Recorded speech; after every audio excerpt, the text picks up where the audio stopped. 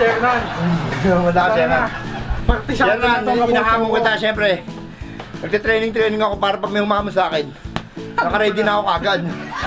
Kahit mabagal ako, putang na, lalabanan ko kayo kahit sino kayo. Pero solid naman, no? Oo. Papakita mo straight, isang straight lang. Dali. Isang straight lang. Pagbigyan mo na!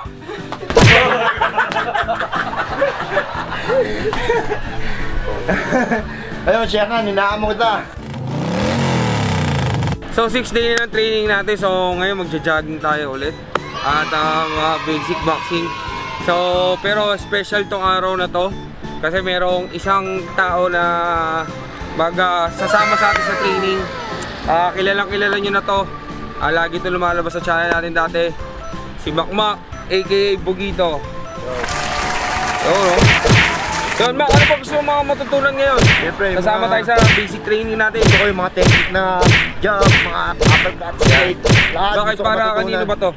Siyempre, uh, niready ko lang yung sarili ko para pag ah, may naghamon sa akin na yayabang-yabang papak. Ah, Hindi actually, tsaka ito maganda tong exercise din ngayon eh, no? Oo. Lalo ngayon, sa panahon ngayon, napakahirap mag uh, huminga. So ngayon, ah pampataas ng resistensya at pampalakas. Alright, so ngayon samahan nyo kami mamaya-maya uh, magtuturuan natin Makmak ng ah, basic boxing. 1, 2, 3, 4, 5, punch, punch. Ngayon na jogging tayo. Alright, let's go!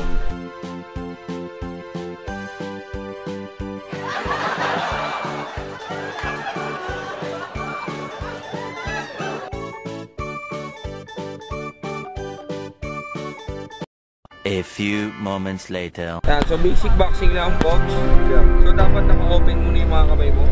Yan, kasi pag nakagano ka na nakaganon, ah mabilis mangangali yung kamay mo. Okay? Kailangan naka-open lang. Yan. So sa legs muna tayo. So yung legs mo dapat nakaganyan. Pa-point ng ganyan. Tapos itong isang paa mo dapat nakaganyan. Okay?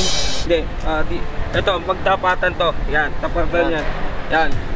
Para, ano mo? Ganyan, no? Yan, yan. Pero parang hindi ka agad-agad natutula. Yan. May lakas ka eh. Ay, eh, yung ordinaryo mong ano, Subukan position sa boxing, di ba nakaganyan ka? Ganyan. Yan, nakaganyan ka. Oh, bilis mo. Ah,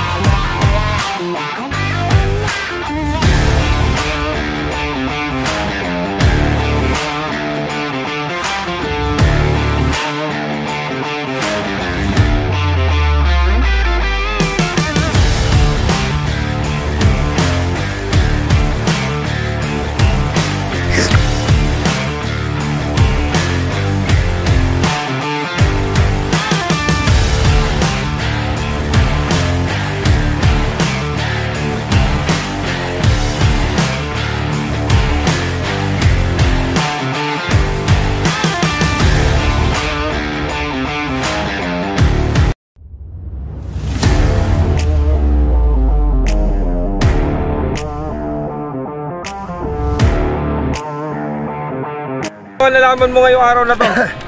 Ah, ayun, ah, nalaman ko na ang tamang tamang pagsuntok, ang tamang pagpwesto yes. para hindi ka ma-out balance sa boxing. Alam mo naman yung mga tamang pwesto. Ah, syempre, hindi yung pwesto 1 ha. Yung tamang pwesto ng paglaban sa boxing. Alright. Ganun. So yun, so abangan natin, kasama natin si Makmak sa Team Barakuan tayo. So Yeah, abangan Team nyo ang syempre. Sports ano namin, event dyan sa Sabong International, yung boxing event namin. And also yung 3 on 3. So mamaya, magja-jogging kami kasama si Makmak para sa basketball. Alright! So,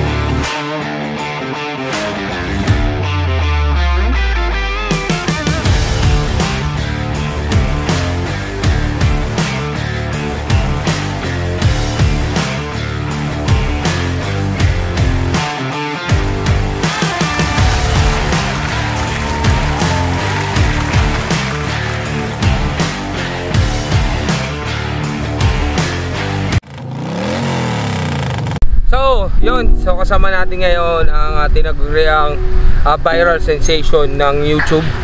Isa sa mga sumikat, isa sa mga magagaling pagdating sa rap skills and also sa freestyle. Makmak aka Bogito. Yun. So, Mak, kamusta ka na ngayon? Ah, ito,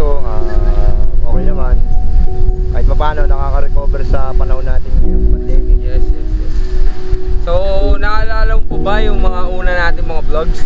So, syempre naman, ah, hindi ko na malilimutan yun. Siguro, tumatak na yun sa, ano, eh, sa puso't isipan ko at syempre sa napakaraming manonood.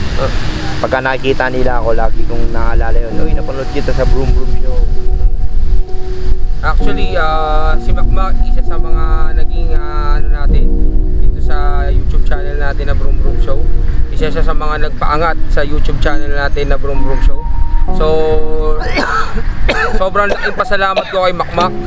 Yan, nakita niyo naman yung diferensya ng Makmak dati. Ito yung Makmak dati sa Makmak Bugito ngayon. Ayan. So, malayo na narating na kapatid natin si Makmak. Pero, so kahit ganun pa man, ay hindi pa rin tayo nakakalimutan ni Makmak aka Bugito. Okay? So Mak, kwento mo naman sa amin yung mga nangyari sa'yo ng panahon na nag-start ka pa lang, yung galing ka pa, nagmamasura-masura ka pa, tapos yung nangyari sa'yo na ngayon.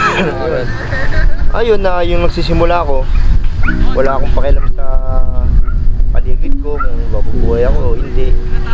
Ngayon, ah, okay naman ako, halos hindi na nga kumilos dahil tumaba nga ako sa pangalaga ni Boss Jan dahil nga napanood ako sa Broom Broom Show ni Boss Jan at yun, kinupkup naman kagad ako Yeah.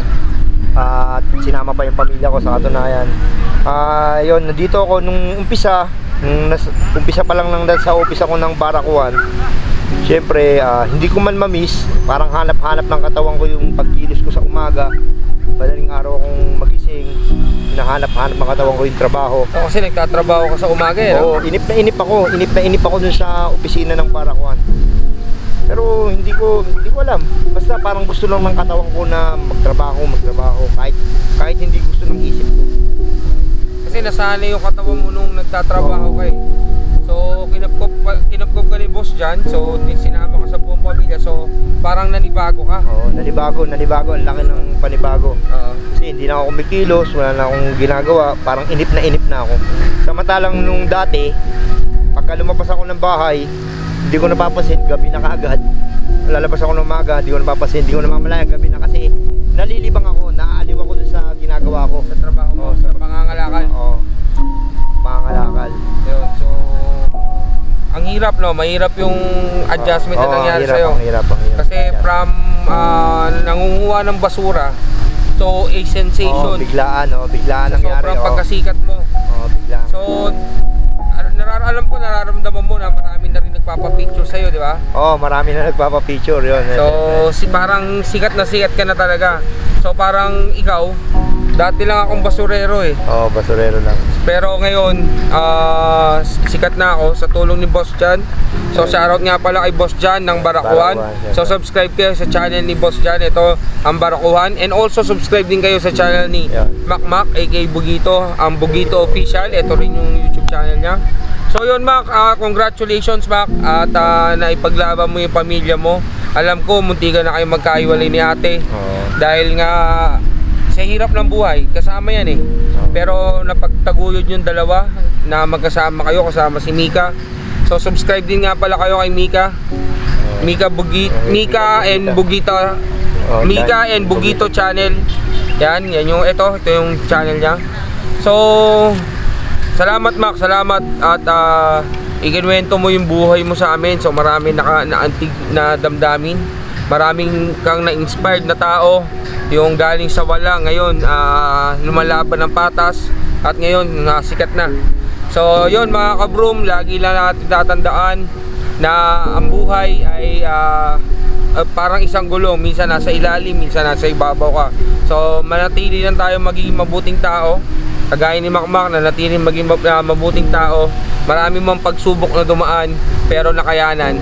So Mak, ah, ano bang pwede mong maibigay sa mga ano natin diyan, mga manonood natin, ah, magbigay na Ayun, inspirational words. Hindi, unang-una, siyempre, ah, nagpapasalamat ako sa sumuporta, sa mga nanood sa akin, sa lahat ng mga nag-share, ng nakapanood ng video namin ni Broom Broom, o ano pa mang video, dahil doon na nakilala akong nakilala, ibig sabihin na napanood ako ng pwedeng makatulong sa akin. Yes. Ayun, na sinasabi, masasabi ko lang to, lalo na ngayon sa hirap ng buhay, pandemic. Eh, buti nga ngayon eh. Kasi itong pandemic na to, kahit pandemic to, na-enjoy tayo sa pagtrabaho, wala tayong kinikita, meron pa rin sumusuporta na ayuda. Samantalang ako, ako pag wala nagpatapon ng basura sa akin, wala. Kaya huwag kayong mawalan ng pag-asa, dire-diretso lang yung buhay. Ayun lang yung masasabi ko sa inyo kung nasa man kayo ngayon. Ayun, at syempre nagpapasalamat ako sa todo-todo suporta nyo. At na, minsan pagka nagbabasa ako ng mga comment sa YouTube o sa Facebook tangina naiiyak ako, hindi ko kayang basahin lahat. Kasi ilan pa lang yung nababasa ko. Mangilid-ngilid na yung luha ko kaya hindi ko kayang basahin lahat. Pero ganun pa man, maraming maraming salamat sa suporta nyo. Yan. So mga tol, ah, maraming salamat sa suporta nyo kay ah, Bugito at patuloy nyo sinusuportahan at patuloy natin suportahan ang Barakuhan. Dahil nandun na si Bugito and actually nandun na rin ako sa Barakuhan. So magkasama na kami ni Makmak aka Bugito. Kinuha tayong talent ni Boss John as a boxer or sports something or uh, talent na rin. Ah, so kay Boss John Boss John, maraming maraming salamat sa suportang binigay mo sa pagtulong kay Makmak sa lahat sa pagiging manager ni Makmak sa lahat sa pa, sa lahat-lahat na naibigay mo at sa marami pang natutulungan mo. Maraming maraming salamat Boss John. At ah, saludo ang lahat ng lahat kami sa iyo. Kami nila Makmak, lahat ng mga nasuportahan mo, natulungan mo at ang buong Brum Brum Show. Saludo po sa iyo Boss John. So maraming maraming salamat po.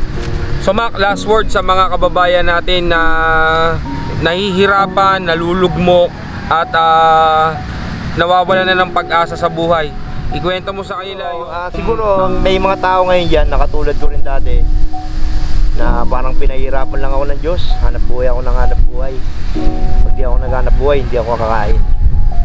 Pero ako ah, nung ano, nang dito na ako sa ano, Barakuan, sa hanap-hanap naman ng katawan ko yung trabaho. Parang gusto ko magtrabaho para makakain.